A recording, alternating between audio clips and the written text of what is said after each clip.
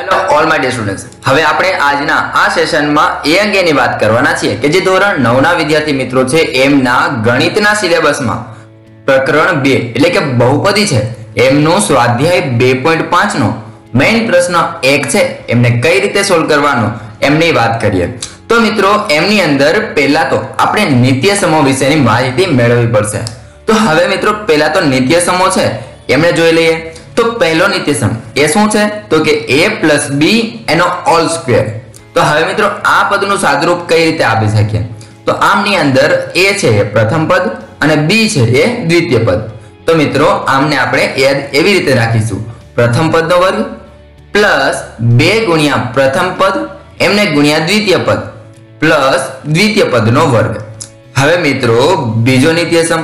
તો એમની અંદર આપણી પાસે છે a માઇનસ બી એમનો ઓલ સ્ક્વેર તો હવે મિત્રો, એમને કેવી રીતે યાદ રાખીશું? તો કે પ્રથમ પદનો વર્ગ અહીંયા માઇનસ છે, એટલા માટે માઇનસ બે ગુણ્યા પ્રથમ પદ, એમને ગુણ્યા દ્વિતીય પદ પ્લસ બીજા પદનો વર્ગ.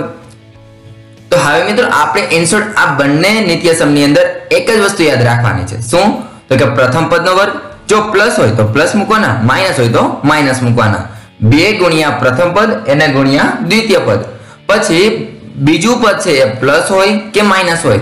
કોઈ ફેર નહીં પડે. આપણે તો માત્ર પ્લસ જ લેવાના. એટલા માટે બીજા પદનો વર્ગ થઈ જશે. હવે મિત્રો ત્રીજા નિત્યસમની વાત કરીએ. તો એમની અંદર છે A square minus B square તો હવે મિત્રો આ રીતે જ્યારે આપણી પાસે હોય, ત્યારે શું કરવાનું? એકવાર પ્રથમ પદ એટલે કે એ અને બીજું પદ એટલે કે દ્વિતીય પદ. એકવાર માઇનસ અને એકવાર પ્લસ એટલા માટે આપણી પાસે નિત્યસમ બને.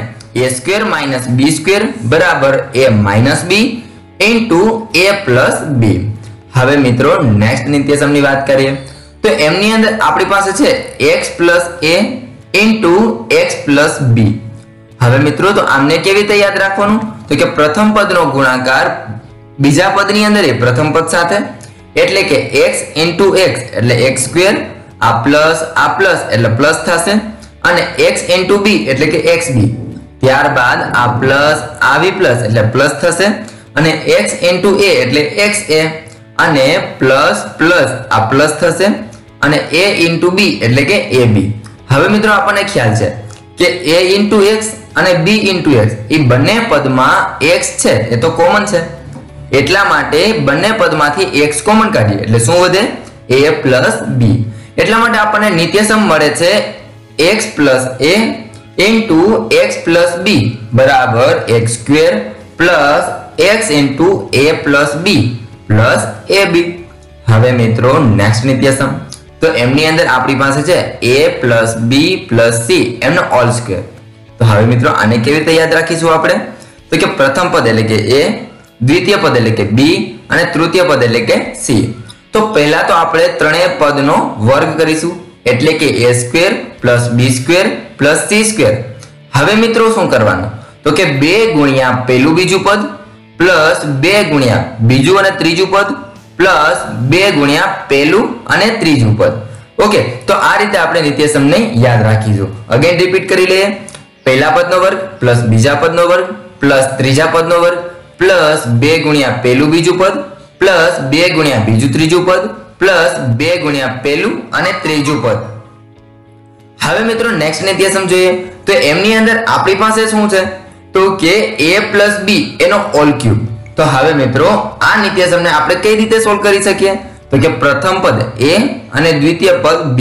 પહેલા તો બંનેનો ઘન કરવાનો, એટલે કે a cube plus B cube ત્યારબાદ પ્લસની નિશાની રહેશે. હવે શું કરવાનું? ત્રણ ગુણ્યા પ્રથમ પદનો વર્ગ અને એમને ગુણ્યા દ્વિતીય પદ. ત્યારબાદ પ્લસ કરી, ત્રણ ગુણ્યા બીજા પદનો વર્ગ. એને ગુણ્યા પ્રથમ પદ થશે. હવે મિત્રો, આપણે આ જ વસ્તુને આપણે કઈ રીતે લખી શકીએ? A cube plus B cube એ તો એઝ ઇટ ઇઝ એમ ને? ત્યારબાદ થ્રી એ સ્ક્વેર બી અને થ્રી બી સ્ક્વેર એ એ બંનેમાંથી કોમન શું નીકળશે? થ્રી એ બી એટલા માટે આપણને નેક્સ્ટ સ્ટેપ શું મળશે? તો કે A cube plus B cube plus three A B into A plus B હવે મિત્રો, જ્યારે a માઇનસ બી એનો ઓલ ક્યુબ હોય, ત્યારે શું કરવાનું? તો કે પ્રથમ પદનો ઘન અહીંયા માઇનસની નિશાની છે, તો માઇનસ મૂકીશું. ત્યારબાદ બીજા પદનો ઘન. હવે મિત્રો માઇનસની નિશાની હોવાથી આપણે શું કરવાનું? ત્રણ ગુણ્યા એ સ્ક્વેર ઇન્ટુ બી એનો મતલબ એમ થયો કે પ્રથમ પદનો વર્ગ એમને ગુણ્યા બીજું પદ. અને એમને ગુણ્યા ત્રણ થશે. ત્યારબાદ અહીંયા માઇનસ હોય, તો પણ આપણે પ્લસ મૂકવાના રહેશે. અને ત્રણ ગુણ્યા બીજા પદનો વર્ગ, એમને ગુણ્યા પ્રથમ પદ.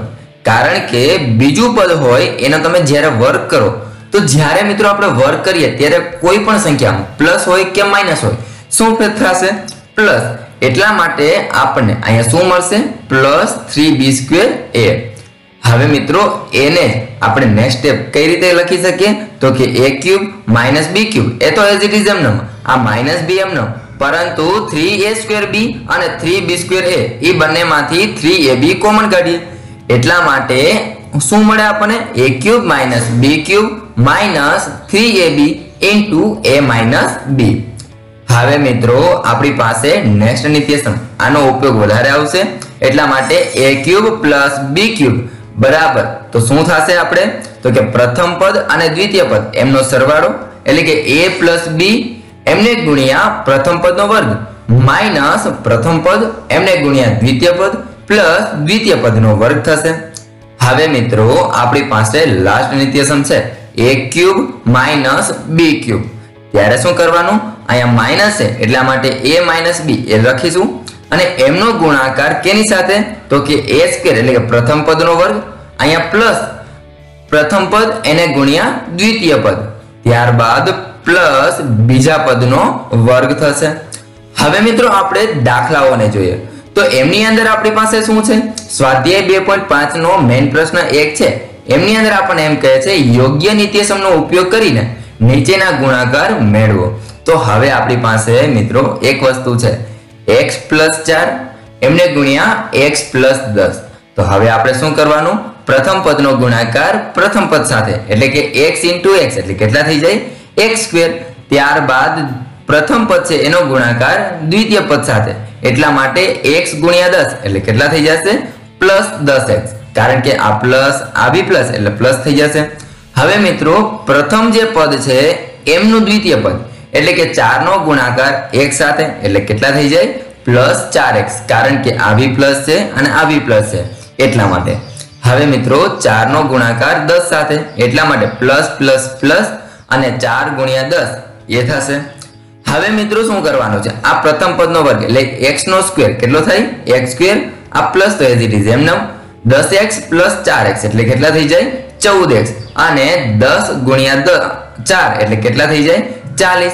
તો મિત્રો, આ રીતે આપણે પહેલો દાખલો છે એને સોલ્વ કરવાનો છે. હવે આપણે બીજા દાખલાને જોઈએ. તો એમની અંદર આપણી પાસે શું છે? તો કે એક્સ પ્લસ આઠ, એમને ગુણ્યા એક્સ માઇનસ દસ. તો અગેન પાછું એ જ કરવાનું રહેશે. કે પ્રથમ પદનો ગુણાકાર પ્રથમ પદ સાથે. એટલે એક્સ ઇન્ટુ એક્સ એટલે એક્સ સ્ક્વેર પછી અહીંયા પ્લસ છે અને અહીંયા માઇનસ છે. પ્લસ માઇનસ માઇનસ અને એક્સ ગુણ્યા દસ કરો એટલે કેટલા આવી જાય? માઇનસ દસ એક્સ હવે મિત્રો, આ પ્લસ આવી પ્લસ એટલે પ્લસ થશે. અને આઠનો ગુણાકાર એક સાથે કરીએ એટલે કેટલા થઈ જાય? આઠ એક્સ હવે મિત્રો પ્લસ માઇનસ માઇનસ અને આઠ ગુણ્યા દસ એવી રીતે થશે. એટલે કેટલા થઈ જાય? આઠ, દસ, એસી.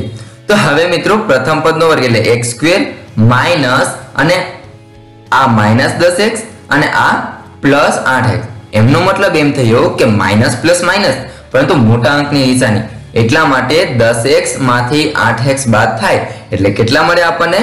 ટુ એક્સ અને માઇનસ એસી. એ તો એઝ ઇટ ઇઝ એમ ન.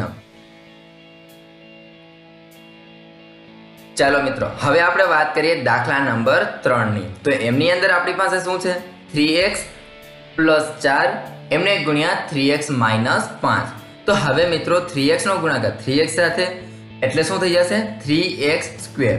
ત્યારબાદ થ્રી એક્સનો ગુણાકાર માઇનસ પાંચ સાથે, એટલે પ્લસ માઇનસ માઇનસ. પરંતુ થ્રી એક્સ ગુણ્યા માઇનસ પાંચ કરીએ એટલે કેટલા થઈ જાય? પાંચ ગુણ્યા થ્રી એક્સ. હવે મિત્રો, ચારનો ગુણાકાર છે, એને થ્રી એક્સ સાથે કરવાનો. એટલા માટે પ્લસ પ્લસ તો પ્લસ થશે અને ચાર ગુણ્યા થ્રી એક્સ હવે મિત્રો પ્લસ માઇનસ માઇનસ અને ચાર ગુણ્યા માઇનસ પાંચ. એટલા માટે થઈ જાય માઇનસ ચાર ગુણ્યા પાંચ. હવે મિત્રો, ત્રણનો વર્ગ નવ અને એક્સનો વર્ગ એક્સ સ્ક્વેર આ માઇનસ તો એઝ ઇટ ઇઝ એમ નવ પાંચ તેરીને પંદર એક્સ આ પ્લસ આ બી પ્લસ એટલે પ્લસ થશે. ચાર તેરીને બાર એક્સ માઇનસ આ પ્લસ, માઇનસ પ્લસ માઇનસ અને ચાર પંચાને વીસ.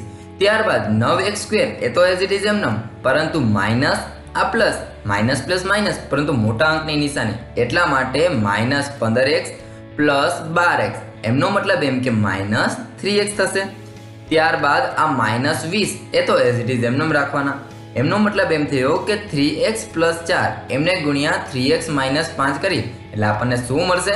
નવ x square minus three x minus વીસ. હવે મિત્રો દાખલા નંબર ચાર ને એમની અંદર શું આપ્યું છે? તો કે y square plus three by two એમનો ગુણાકાર y square minus three by two સાથે કરવાનો છે. તો મિત્રો આપણી પાસે નિત્ય સમ છે. X square minus y square is equal to શું થશે? એકવાર એક્સ માઇનસ વાય અને એકવાર એક્સ પ્લસ વાય એટલા માટે વાય સ્ક્વેરનો ગુણાકાર વાય સ્ક્વેર એટલે વાયની ચાર ઘાત થઈ જશે. ત્યારબાદ થ્રી બાય ટુનો ગુણાકાર. થ્રી બાય ટુ સાથે. એટલે થ્રી બાય ટુનો ઓલ સ્ક્વેર થઈ જશે. એટલા માટે આપણને નેક્સ્ટ સ્ટેપ મળશે. વાય સ્ક્વેર એનો સ્ક્વેર આ માઇનસની નિશાની. ત્યારબાદ થ્રી બાય ટુનો ઓલ સ્ક્વેર હવે મિત્રો, આપણે વાય સ્ક્વેર છે. એને આપણે એક્સ સ્કેર લઈ લઈએ અને થ્રી બાય ટુ છે, એને આપણે વાય સ્કેર લઈ લઈએ. તો મિત્રો, આપણને ખ્યાલ આવી ગયો હશે કે x square minus y square હોય, ત્યારે શું થાય? એકવાર પ્લસ અને એકવાર માઇનસ તો એ નિત્યસમનો ઉપયોગ કરી અને આપણે આને સોલ્વ કરી શકીએ છીએ. તો હવે મિત્રો, ઘાતની ઘાતનો શું થાય?